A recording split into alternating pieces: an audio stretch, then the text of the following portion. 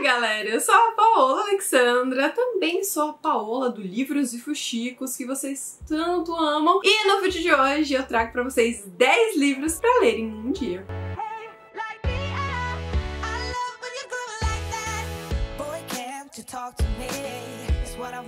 Já vamos começar esse vídeo com um pequeno detalhe de que estou gravando esse vídeo sozinha! Então se o foco estiver ruim, se a luz estiver ruim, se o enquadramento estiver ruim, a culpa é minha, entendeu? Gente, faz muito tempo que eu não gravo, tirando os vlogs, né? Que eu não gravo vídeos assim de lista sozinha, mas o Manu tá na correria. Afinal, né, abrimos juntos uma papelaria. Ser empreendedor não é fácil, então o Manu vive correndo. Tô gravando sozinha. Ele vendo esse vídeo vai querer me matar, porque obviamente eu estou na frente da luz, porque não soube arrumar o cenário.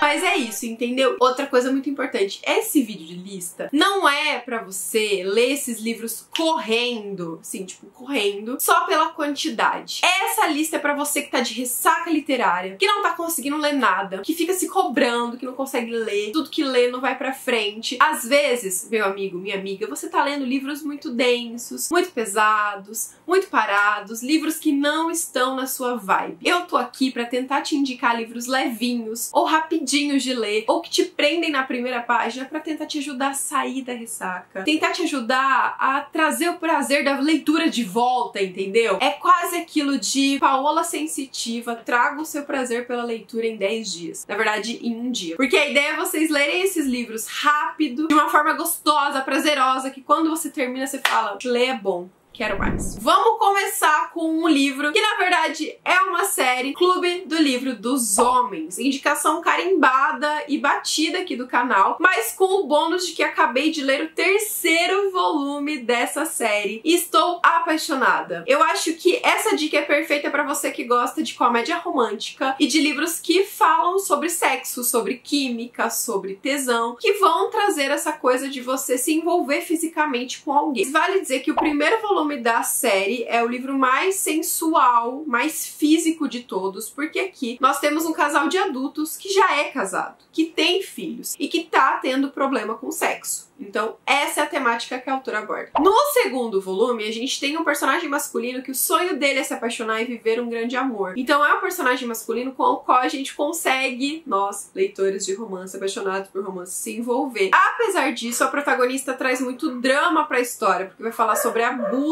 aqui e sobre dilemas no âmbito profissional. Aquela coisa da mulher sempre ser diminuída na profissão, sabe? Então, já sofreu isso? É o que a personagem vai trazer aqui, além de outras temáticas um pouco até mais complexas. Então é um livro que tem mais drama. E o terceiro volume é uma mistura de drama e comédia romântica perfeita. Esse mocinho, gente do céu. De novo, é um livro com camadas que vai trazer algumas temáticas aqui bem legais que voltam pro abuso, que vão trazer temas que são importantes de serem debatidos. Só que ele é um pouco mais divertido que o segundo volume, eu achei. Ele é mais fácil de ler, ele é mais rápido. Essa série só melhora, sabe? É apaixonante. Os cachorros ao fundo não querem me deixar gravar e são as minhas cachorrinhas, entendeu? A Jenny e a Madonna, fofinhas, que querem participar do vídeo ao fundo. Então é isso, gente. Essa série aqui, esses três volumes são perfeitos para quem gosta de comédia romântica e livros rapidinhos de serem lidos. Esse terceiro volume, gente, eu devorei, entendeu? Eu acho que eu li em um dia e meio, de tão rápido que foi.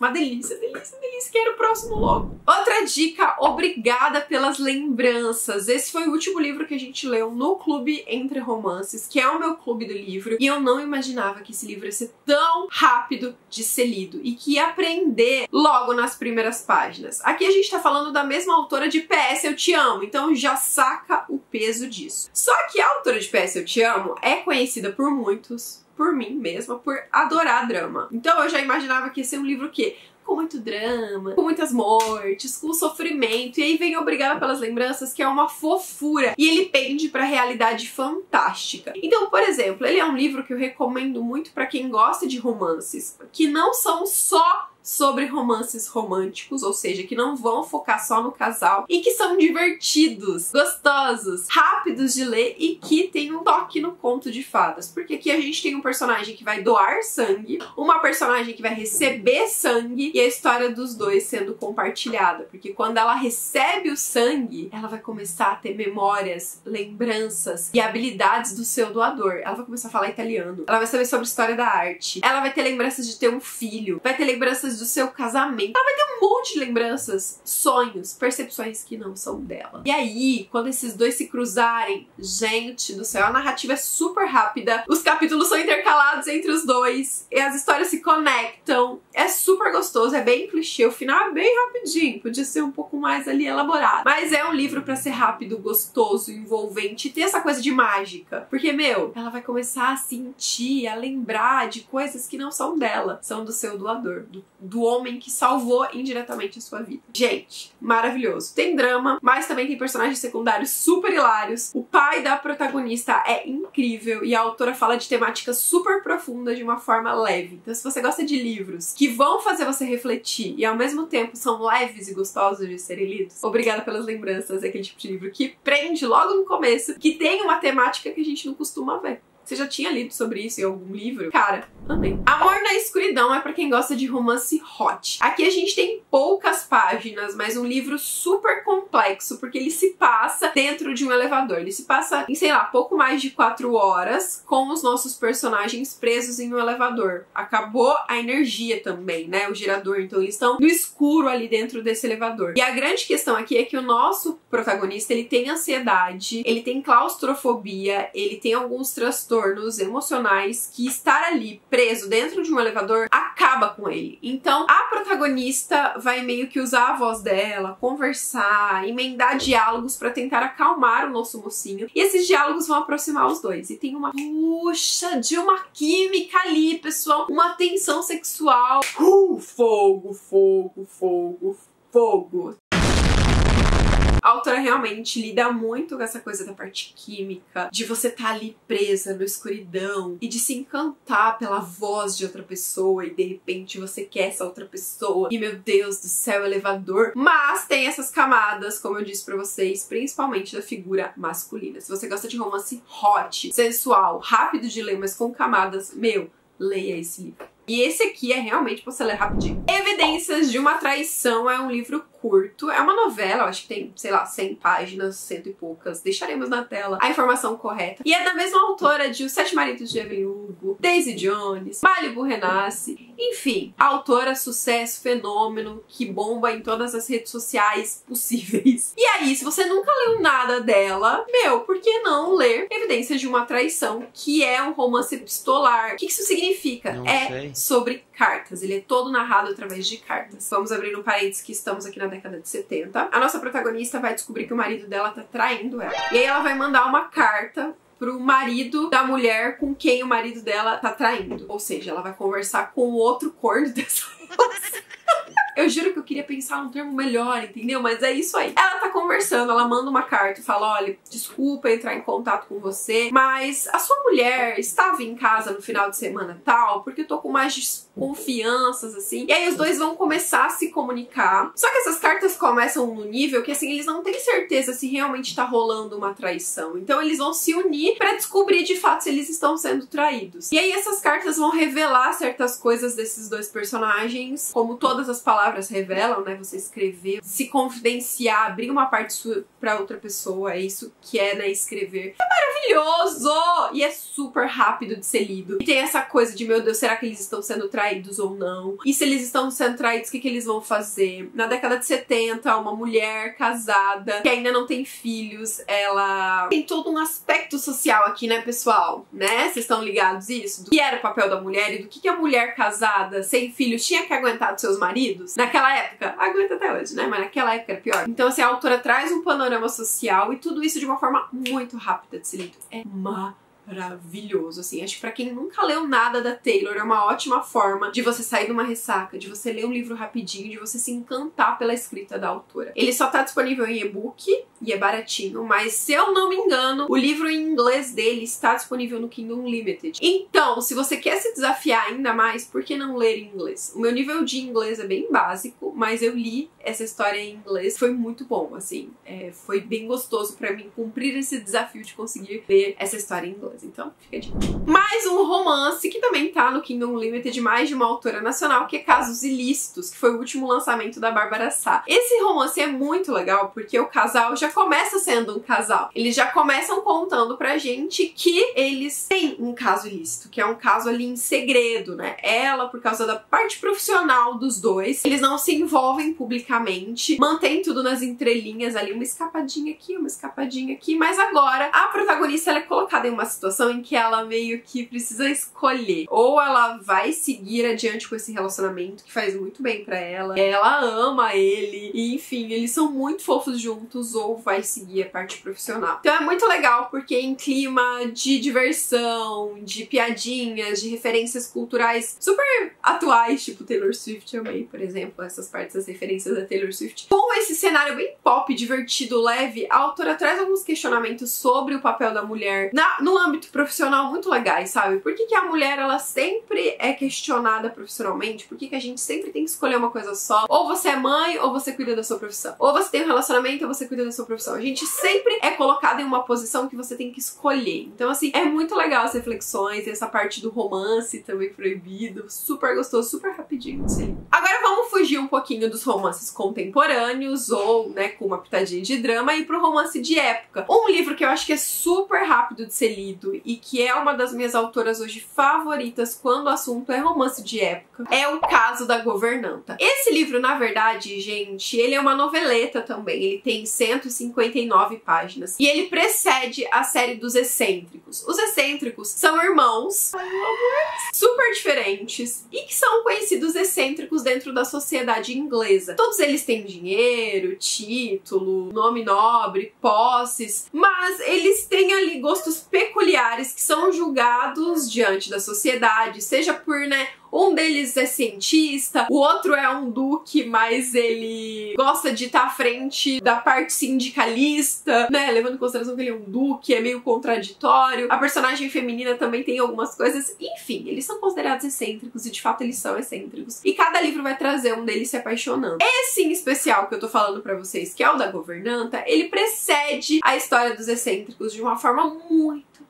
legal muito legal. Essa autora, gente, ela é maravilhosa quando o assunto é trazer quebra de paradigmas, trazer questões sociais para suas histórias, trazer personagens que fazem a gente refletir. E esse livro aqui, é esse romance de época, eu li com o coração apertado. Eu me envolvi com os personagens, eu, eu, eu me dava vontade de entrar e dar uma chacoalhada no mocinho. E isso é uma coisa que essa autora faz demais, dá vontade de você entrar e falar: "Meu pessoal, vamos sentar aqui conversar que não tá não tá rolando". Enfim, eu li esse e li o primeiro volume da série e amei. Eu acho que se você gosta de romance de época e às vezes você tá querendo sair assim, você tá tentando ler romance de época e não tá rolando, vamos tentar uma autora diferente, entendeu? Vamos sair da mesmice, vamos falar de questões sociais, vamos pegar romance de época com profundidade. Então, começa com esse aqui da governanta, que ele é rapidinho, você vai conhecer a escrita da autora. E aí, se, se você gostar, e eu espero que você goste, tô botando minhas fichas aqui, você vai ler os outros volumes da série e quem sabe aí você encontra uma nova série de romance de época favorita ou uma nova autora favorita. E por falar em romance de época, eu fiz um vlog recentemente aqui no canal, lendo um romance de época que me tirou da ressaca literária, logo eu, que não tava conseguindo ler romance de época há meses. Se você quer saber mais sobre essa dica, tá aqui nos cards. E é muito legal porque é um romance de época que se passa na Austrália. Então, vai lá assistir. E aí é uma dica bônus para vocês nessa lista. Faz tempo que eu não leio nada jovem, nada new adult, mas Bloom meu coração. É uma HQ, então para quem gosta de histórias em quadrinhos, vale muito a pena ler, mas quem não tem costume de ler HQ, fica aqui o apelo, porque é uma história maravilhosa e que se passa naquela coisa do verão, de terminou o ensino médio, agora você vai começar a faculdade, tem aqueles meses de férias para se preparar, para decidir onde você vai morar, para esse processo de mudança, de transição, né, de muitas coisas que vão de fato mudar. Você vai continuar morando com seus pais, ou vai para uma casa nova, você vai para uma faculdade na mesma cidade, vai mudar de cidade. É um período de transformação, de transição também, né? Porque você sai dos 17, vai pros 18 anos e agora pensa, putz, agora eu sou um adulto, o que, que eu vou fazer da vida? E em Bloom é muito legal porque o nosso personagem, ele quer ir pra uma outra cidade, pra cidade grande, com a sua banda, focar na parte de música, não quer fazer faculdade, ele quer focar nisso, meu, ele quer focar na sua banda, é o seu sonho. Só que os amigos dele dessa banda são um pouco babaca. Então, assim, não todos, mas alguns. E, sei lá, será que essa, essa influência dessa banda é legal? E ao mesmo tempo, o pai dele quer muito que ele fique fique na cidade cuidando do negócio da família, que é uma padaria. E que essa padaria não tá indo tão bem, os pais estão preocupados, tá faltando grana. Então tem muita pressão. Ele não quer ficar cuidando dos negócios da família, mas ele sabe que ele precisa ajudar o pai. Ele precisa de dinheiro para mudança, para essa cidade nova, para essa, essa parte da vida nova dele que vai começar, mas a família dele tá meio sem grana. Então, assim, esse verão de mudança, são muitas mudanças na cabeça do nosso mocinho. E aí vai chegar um personagem, entendeu? Pra passar um período de férias ali, que por coincidência adora, adora cozinhar, faz pães maravilhosos, vai trabalhar ali na empresa do pai dele.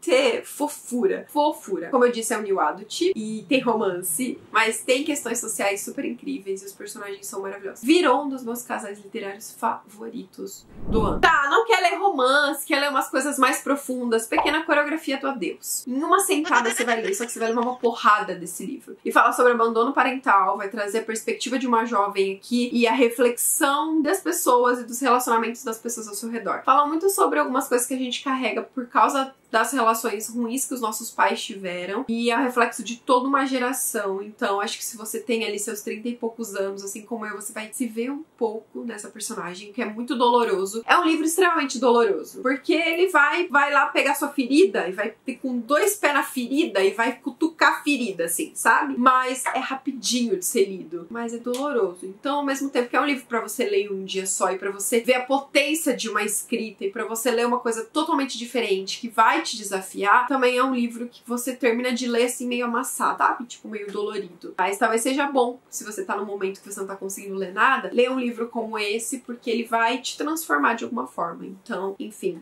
esse livro aqui é potente, pesado, mas rápido de ser lido. 10 Dias em um Hospício é um dos meus livros favoritos. É um relato de uma jornalista que no século XIX ela fingiu que era louca, e aqui eu tô usando o termo da época. É, o livro deixa muito claro que muitos dos termos que são utilizados para falar sobre doenças mentais são termos que são pejorativos e que na época não havia estudo sobre isso, que na época eles serviam como exclu dentes. É, é triste. É um relato de como as doenças mentais não eram estudadas, não eram levadas a sério e de que na época os tidos como hospícios e os hospitais para alienados, que eram muito comuns no século XIX, eles eram um lugar de abandono e de inúmeros maltratos e de abusos psicológicos, de violência pura. As pessoas que iam para esses lugares, elas sofriam muito. Só que assim, eram lugares muito misteriosos, fechados ao público. Ninguém sabia o que acontecia lá, mas as poucas pessoas que saíam desses hospitais é, saíam com relatos muito traumatizantes. E aí essa mulher corajosa corajosa, foi em frente a uma corte, é, assumiu um papel de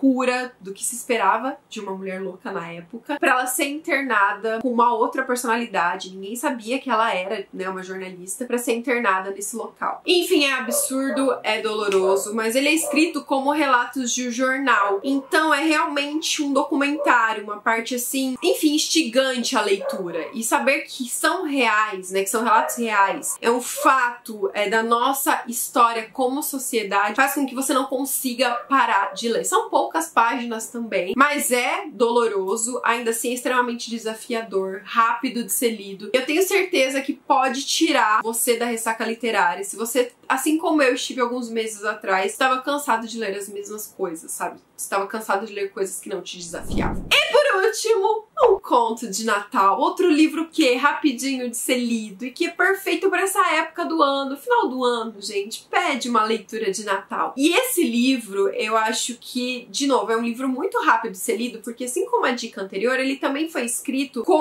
um. Ele foi escrito em um modelo jornalístico, porque ele faz parte de folhetins. Cada capítulo ele era publicado em um jornal de uma forma semanal para que as pessoas acompanhassem aquela coluna. Então, cada capítulo tem meio que início, meio e fim. É como se fosse uma aventura fechada por capítulo, e o capítulo tem aquele gancho que te deixa curioso pro próximo capítulo, que faz o que a leitura ser muito rápida. E ele tem essa coisa também do Natal ser transformador e do Natal ser um momento de consciência social, de também quebra do coração, quebra das dores, das mágoas que a gente carrega e que deixa nosso coração empedrado, assim, sabe? Eu adoro essa história. Esse foi o meu primeiro contato com a escrita de Charles Dickens e depois disso eu quis ler outras coisas dele. Por sinal, não fiz isso ainda, não sei porquê. Acho que eu fico enrolando porque são livros muito grandes. Só que esse aqui é rapidinho, então assim, se você quer ler um clássico agora no final do ano, se você não leu nem clássico esse ano, se você quer ler uma coisa de Natal, meu, leia essa história. Tem traduções recentes. A tradução da Antofágica é incrível, tá ótima, fácil de ser lida. Eu tenho certeza que vai aí, né? Fazer você mexer um pouquinho e se sentir realizado por ler um clássico agora no final desse ano. E é isso, gente. Espero muito que vocês tenham gostado das dicas. Agora deixa aqui nos comentários qual foi o último livro que você leu em um dia. Aquele livro rapidinho, gostosinho de ler, que te tirou de uma ressaca literária? Deixa aqui nos comentários que eu vou amar saber. E é isso, ó.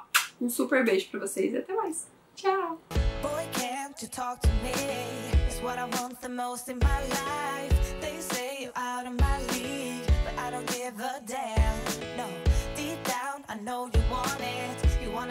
leap and jump in.